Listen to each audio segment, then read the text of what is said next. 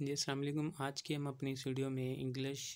Code 504 का lesson 39 पढ़ने जा रहे हैं जो कि है myths related to second language acquisition जो सेकंड लैंग्वेज एक्विजिशन के बारे में डिफरेंट किस्म के आइडियाज़ जो कुछ एक वो बातें बनी होती हैं, उनके बारे में मतलब इस लेसन में हम बात करने जा रहे हैं। तो चलें स्टार्ट करते हैं। बिफोर स्टार्टिंग आप लोगों से रिक्वेस्ट है कि प्लीज़ चैनल को सब्सक्राइब ज़रूर कीजिएगा। There are different aspects of second language proficiency Canadian research Jim Cummins अब ये तीन चार तीन किस्म की हैं। इसमें एक बिग्स है, एक कार्प है और सेकंड ये दोनों, ये दो ही चीज़ें हैं, एक बी है और एक C A L P carp है। तो ये बहुत इंपॉर्टेंट है।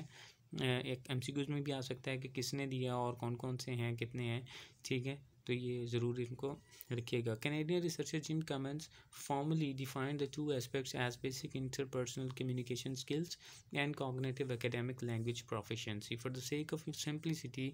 B I C S are often refer to as conversational English the surface language that native speaker use in informal चार although there are individual difference research shows that second language learners frequently develop native like conversation skills within two years अच्छा जी, ये जो B I C S है, जिसको Vicks भी कह कर सकते हैं तो ये किसके बारे में बात करते हैं? ये कहते हैं, ये एक्चुअली बात करते हैं कन्वर्सेशन के बारे में। जिस तरह ये इसके जब हम कंप्लीट इसको पढ़ते हैं बेसिक इंटरपर्सनल कम्युनिकेशन स्किल किसी शख्स के अंदर पाई जाने वाली वो स्किल जिसके साथ वो किसी भी बंदे के साथ कम्युनिकेट करता है तो उसके रिलेटेड जो बात है कि ये एक इनफॉर्मल सी टाक होती है और उसमें वो कितना नेटिव स्पीकर्स के साथ जो लैंग्वेज को यूज़ करते हैं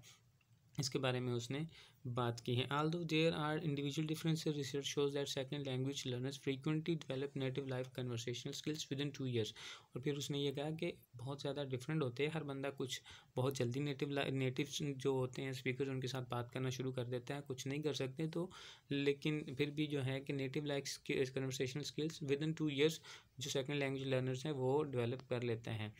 CALP is referred to as academic English, the proficiency to read, write and learn at an appropriate grade level. This aspect of proficiency is much more critical to students' academic success and it tasks about five to seven years to develop. अब वो कहते हैं कि जो academic English है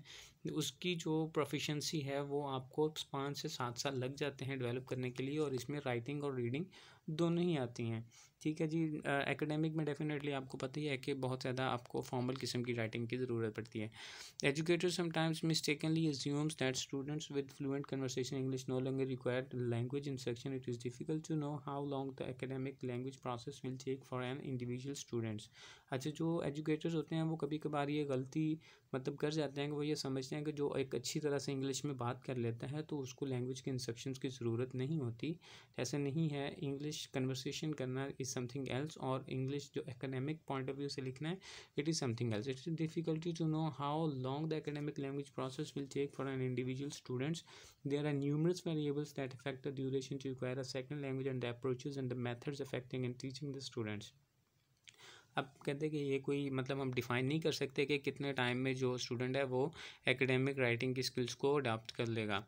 ठीक है जी कुछ फैक्टर्स हैं जो इस चीज़ को अफेक्ट करते हैं such as social and cultural factors previous educational background age और literacy skills and primary and home language parental attitude and experiences ये सारी चीज़ें हैं जो सेकेंड लैंग्वेज एक्विजिशन को आ, करती हैं मुतासर करती हैं।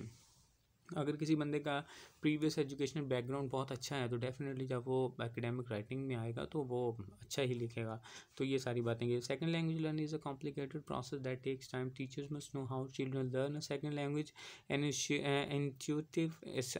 are often mistake and children can be harm if teachers have unrealistic expectation of the process of second language learning and its relation to the acquisition of other academic skills and knowledge some common misconception and myths about children and second language learners अब कुछ जो बनी हुई हैं myths बनी हुई हैं second language के लर्निंग के बारे में, जो मतलब कहते हैं कि अपनी तरफ़ से कुछ लोगों ने जो बातें बनाई होती हैं, उनके बारे में बात करते हैं कि children learn second language quickly and and easily as their brains are more flexible अच्छा जी, ये जो बात है कि जी बच्चे इजीली जल्द कर लर्न कर लेते हैं सेकंड लैंग्वेज तो ये भी मतलब एक बात बनी कि उनका ब्रेन फ्लेक्सिबल होता है तो करंट रिसर्च चैलेंजेस इट जो मौजूदा रिसर्च है उन्होंने इस चीज़ को चैलेंज किया और उन्हें इस तरह से कोई भी प्रूव नहीं मिला। Children do not have access to memory techniques and other strategies तो ये मतलब उन्हें किसी किस्म का भी ये भी एक मिथ ही है इसके बारे में कोई भी कोई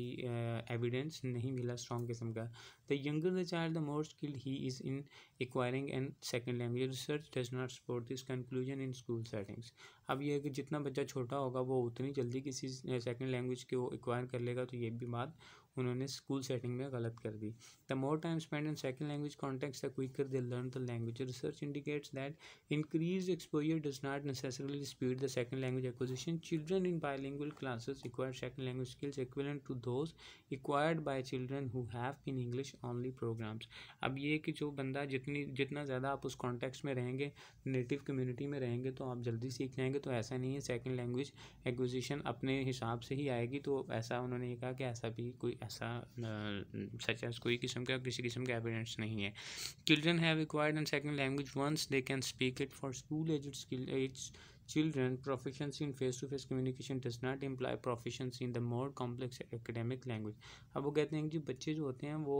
सेकंड लैंग्वेज एक्वायर जब वो कर लेते हैं तो उसको बोल सकते हैं तो वही कहते हैं कि ठीक है जी, बोल तो सकते हैं, लेकिन बात यह है कि सिर्फ़ communication is not only an acquisition of a second language academic writing जो एकेडेमिक लैंग्वेज है, वो भी आनी चाहिए। All children learn and second language in the same way this is assumption underlies a great deal of practice teacher must be aware of cultural difference then need to plan varied instructional activities that consider children diversity of experience and children are likely to be more x responsive to a teacher who affirms the value of the home culture अब वो कहते हैं, जो सारे बच्चे जो हैं वो एक ही तरीके से सीखते हैं तो ये भी गलत है। हर बच्चे की अपनी एक सेटिंग्स होती है, हर बच्चे का अपनी एक कैपेबिलिटीज़ होती हैं और हर डिफरेंट डिफरेंट कल्चर्स में जो रहने वाले बच्चे हैं, उनको डिफरेंट तरीके से पढ़ाना ज़रूरी होता है। तो इस बात को भी जहन में रखना पड़ेगा। That was all about this lesson I hope so कि आपको समझ आ गई होगी। प्लीज़ चैनल को सब्सक्राइब कीजिएगा वीडियो को लाइक कीजिएगा शेयर कीजिएगा कॉमेंट कीजिएगा। Thanks for watching